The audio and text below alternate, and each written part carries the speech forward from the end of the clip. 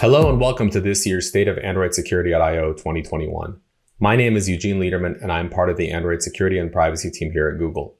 In this session, we plan to provide a quick introduction to our team and our mission. As we do every year, we would like to share some of the statistics and efforts that we believe help measure the security of Android, followed by some of our big initiatives and new launches. Before diving into this year's update, I wanted to take a moment to discuss our mission and our strategy. Our mission is to protect the billions of Android devices out there Regardless if it's a high-end device or a low-end device, our goal is to provide the same level of security. The Android security model relies on a defense in depth approach.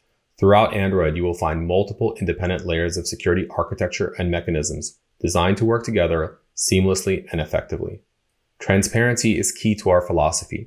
Android is open source. We publish a quarterly ecosystem transparency report and blog frequently about upcoming features and capabilities. Google has a tremendous team of security experts and privacy experts. The Android team partners closely with many of these experts when it comes to things like anti-phishing, account security, and many other initiatives. In 2020, we paid out 1.7 million in rewards as part of our Android Vulnerability Rewards program. In addition, the Google Play Security Awards and the Developer Data Protection Rewards programs awarded over $270,000. While we have been providing built-in anti-malware capabilities for years, in 2017 we officially branded our client-side and back-end anti-malware solution Google Play Protect. Google Play Protect scans over 100 billion apps every day and leverages the combination of static and dynamic analysis, as well as machine learning and numerous other techniques to keep users safe. In 2020, we prevented 54,000 malicious applications from being published. In addition, our machine learning detection capabilities and enhanced app review process prevented over 962,000 policy violating application submissions from getting published to Google Play. In the first quarter of 2021, 95% of Android 11 devices were running a security update from the last 90 days. A lack of transparency results in a distrust and a deep sense of insecurity. As I mentioned earlier, transparency is at the heart of Android, and specifically from a security perspective, we strongly believe that good transparency breeds trust. We have talked about how Android is open source which is a great thing for the security community since they can assess and evaluate our implementation of various security capabilities. A great way to further build upon our transparency efforts is to go through an independent security evaluation, thus ensuring the independent authorities, not just Google or OEMs, are evaluating the security of Android and validating Android's commitment in transparency and exploit mitigation. Some of these independent certifications are Common Criteria Mobile Device Fundamentals, which evaluates the cryptography, authentication, integrity, and auditability that mobile devices provide. NIST FIPS 140-2, which evaluates the cryptographic modules, and the Department of Defense's Security Technical Implementation Guide, which provides predefined guidelines on how a device gets deployed on a U.S. Department of Defense network. Over the last few years, we have been working diligently to implement the various security features and controls into the Android operating system. Last year, we talked about how we've been working hard to help our ecosystem this year, we are happy to report that not only were we able to get Pixel certified as a reference implementation faster than any other smartphone this year, our investment also helped numerous OEM partners complete some of these rigorous certifications as well. Of course, many certification programs can be costly, cumbersome, and complex, which makes it difficult for all vendors to participate. This is why we are excited to be one of the 300 plus members participating in the Internet of Secure Things Alliance. The mission of the IOXT Alliance is to build confidence in Internet of Things products through multi-stakeholder, international, harmonized, and standardized security and privacy requirements, product compliance programs, and public transparency of those requirements and programs. With so many companies involved, IOXT covers a wide range of devices including smart lighting, smart speakers, webcams, Android smartphones, and mobile applications. The goal of IOXT's approach is to enable consumers, enterprises, and other stakeholders to understand the security and connected products to drive better awareness towards how these products are protecting the security and privacy of users. IOXT focuses on eight pledge items split across three pillars security, upgradability, and transparency. We commend the IOXT Alliance and its members, including a wide range of Android device manufacturers and mobile app developers who've begun the process of regularly certifying against IOXT security and privacy standards. All major operating systems in use today leverage a large amount of C slash C++ for its implementation. The OS implementation language is completely distinct from the language supported by app developers for Android that is primarily Java and Kotlin. The majority of vulnerabilities in these operating systems are caused by memory errors such as buffer overflows. due to the lack of memory safety built into C slash C++. Rust is a rapidly growing language that provides efficiency and flexibility required by systems programming, but with a huge boost of memory safety. While it is not practical to simply translate all existing OS code into Rust, Android has embarked on a multi-year effort to introduce Rust into the most sensitive areas of Android, and over time, convert more and more of C++ implementations to Rust.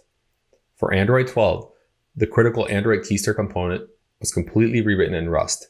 Google has integrated Rust tools and C++ interoperability bridges into Android to enable Android device manufacturers to leverage Rust for their own Android systems programming needs. You can't spell trust without Rust.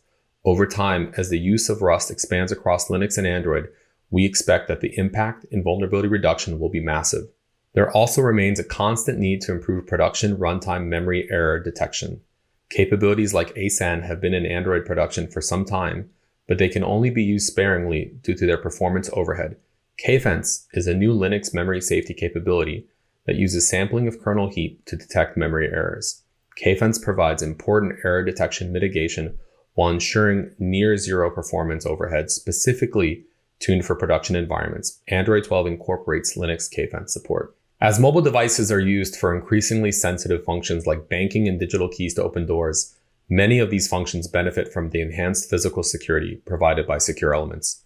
So even if an attacker has physical possession of your device, the SE provides state-of-the-art protection against both logical and physical attacks. Secure elements are common on flagship devices, such as Titan M and Pixel, but have been mostly absent from low-cost devices. Android Ready SE enables Android device manufacturers to choose and more easily integrate SEs from a wide range of secure element products that support Android APIs that leverage this form of advanced physical security. For example, Android APIs enable bank, healthcare, gaming, and other app developers to store keys in the SE by declaring that the key as an Android Strongbox key. And Android Ready SEs already support Strongbox protocol natively.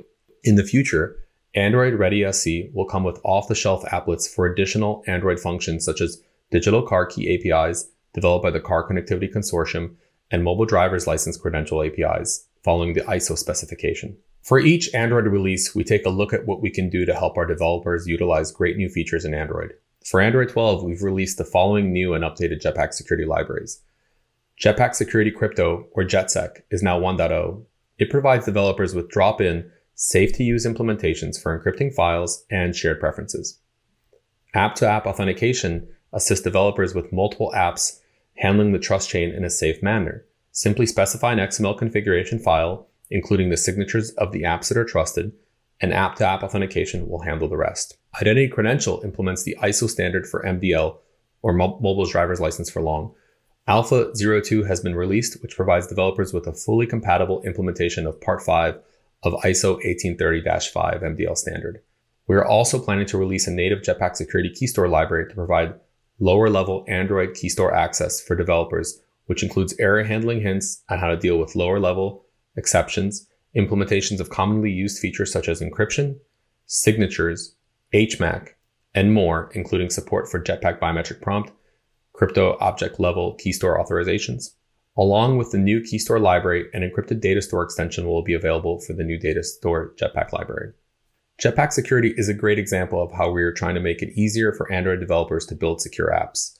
We also provide numerous other security APIs, such as SafetyNet Attestation, which is an anti-abuse API that allows app developers to assess the Android device their app is running on.